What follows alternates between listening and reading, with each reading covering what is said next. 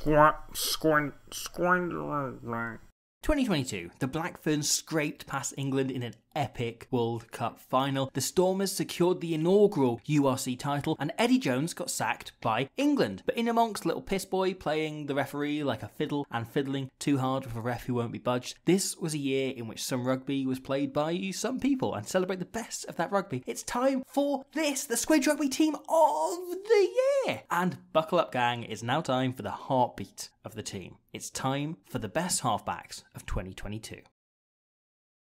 Even as rugby moves forwards, as it dives into new eras of entire teams with all court games, shapes called by centres, game plans dictated entirely by our two coaches, second rows who can pass better than 12s could 10 years ago, props who are literally Tadhg Furlong, no matter how those things change, the fly half shirt still holds a certain majesty. There's a credit and identity to the number 10 that it's the player that you build your team around, the fulcrum who sums up what your side are trying to achieve. And in a year where one old head really established himself as his nation's most pivotal player, maybe of all time, it felt so exciting to see that aura, that identity, and something that will one day no doubt be a legacy spread to new parts of the world. Because without a moment's doubt, without a second's consideration of others, frankly, the undeniable 10 in the Team of the Year 2022 is Chile's Rodrigo Fernandez. Nobody, and I'll repeat that again, nobody has torn up both the international game and the sports expectations over the last 18 months like Fernandez. Whilst coach Pablo Lemoine has worked miracles in preparing his team and his forward pack has done unbelievably well to match every contender they've come up against, ones with far more pedigree and professionalism behind them, Fernandez had given the Rugby World Cup's newest side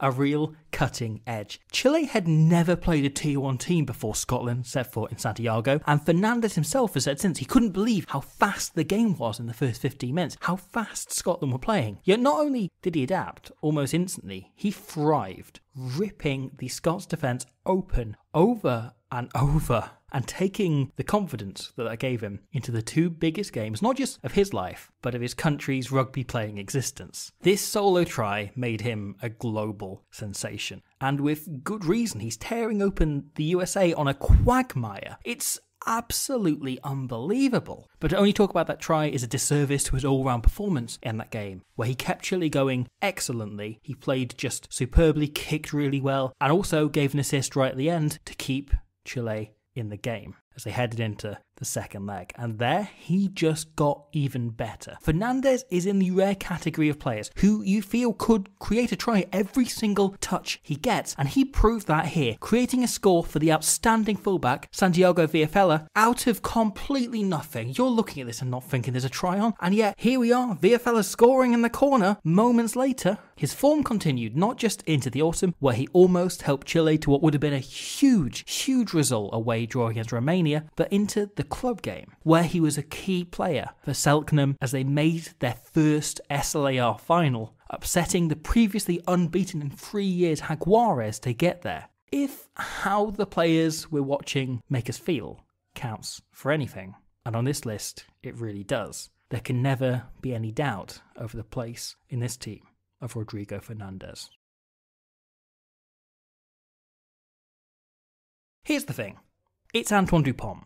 This was a year that saw him sit out another summer and then see red against South Africa, yet there remains daylight between the easiest world class player to draw up word boxers and every other scrum half in the world. In fact, the nine who pushed him hardest was his Toulouse A France counterpart, Laure Sansus, only to see her World Cup ended by a nasty injury against England. Antoine Dupont is a rugby player who makes you believe in magic and possibly a higher form of evolution. He makes you believe anything might be possible. He's perhaps not the perfect technical specimen that the next best male scrum halves, Faf de Klerk, Aaron Sneck, Jamison Gibson Parker, but Dupont is a freak. A player who does things that you couldn't achieve with a lifetime's worth of hard work. And yet, he continues to put that work in. This year, we've seen Dupont's kicking game come on enormously. Not that it was ever a weakness, but it's now gone from functional to weapon. Just because he needed more of those. You know, he needed more outstanding parts of his game. He always had the accuracy for cross kicks like this, but he's added the good, what, like 15, 20, maybe even 30 metres onto the thumps, getting France out of trouble repeatedly during some sticky situations during that eventually unbeaten year. It allowed his influence on the game to remain, even when space was of a premium, even when a team like Wales here in the Six Nations does an incredibly good job of shutting down his attacking flair, yet his core skills now are so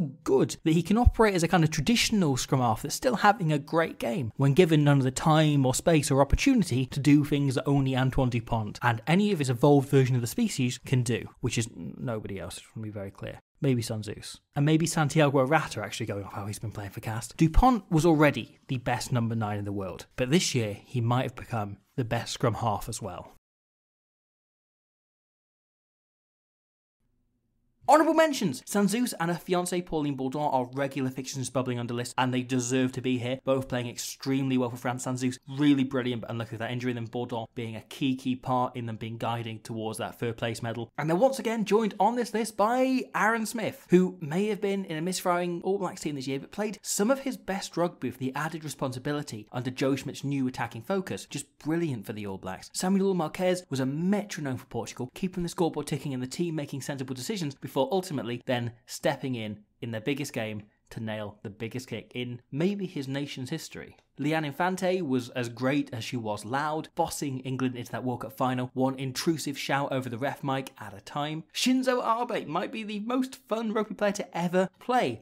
4 foot 9 of pure quick taps. Little Piss Boy did some big dick plays this year, and whilst Wales were broadly shit in 2022, almost everything they did well came down to the nuts and bolts play of Kieran Williams, keeping them from imploding with odd moments of magic from um, Thomas Williams as well. But it was also a big year for the two J something P's, Jack Van Poortvliet and Jamison Gibson Park. The former having a real breakthrough year, establishing himself as the main rival for Ben Youngs. The two of them surely going to have an epic battle for the England nine shirt and Leicester Tigers nine shirt for at least the 17 seasons more before Youngs retires. Ben Youngs, by the way, also had a real good year. He's flying under the radar, but he's good. Gibson Park, meanwhile, added the pace and accuracy to Ireland's play. He's become such a crucial part of everything that went so right for them this year. Really could have taken that nine jersey. But speaking of things going right. Ruahei Demant was a crucial part of everything that went right for the Black Ferns this year and honestly came as close to kicking Fernandez out of the team as humanly possible. She was exceptional, led her team to glory for a smart attacking game backed up by a kicking game that she pulled out the locker for the final and semi-final to really boss the best oppositions out there. She was brilliant. She was an incredibly close second choice behind Fernandez. Her opponent in that final, Zoe Harrison, also had an excellent year, as did Italy's Veronica Madia, hitting real form in the World Cup to get the most out of a talented backline around her. It was just just excellent. Marcus Smith might have started the season drowning in the biggest hype train circle jerk rugby has produced since Jonny Wilkinson retired, but shone through to get so much better as the year went on, developing a patience and intelligence to add to his already outstanding running game. Marcus Smith's resilience deserves a mention on its own. Paolo Garbisi guided Italy to a run of enormously improved performances and was critical in Montpellier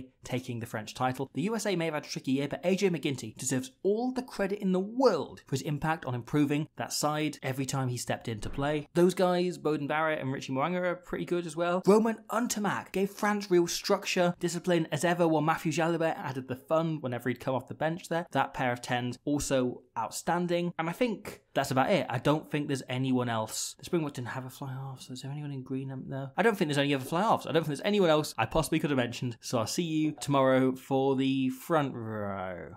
But no, okay. I am, of course, joshing.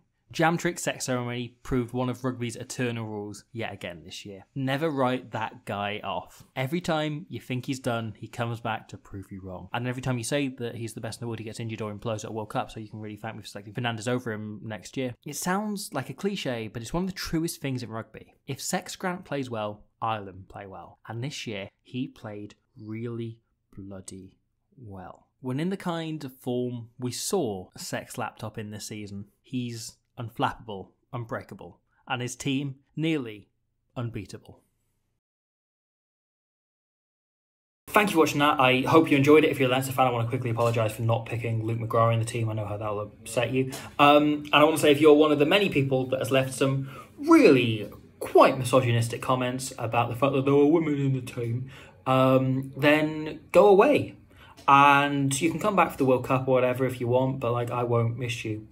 Uh, in the meantime, they'll be moving on to the forwards tomorrow with the props, the front row, and I'll see you then for that, unless you're one of the people that went away, in which case, bye.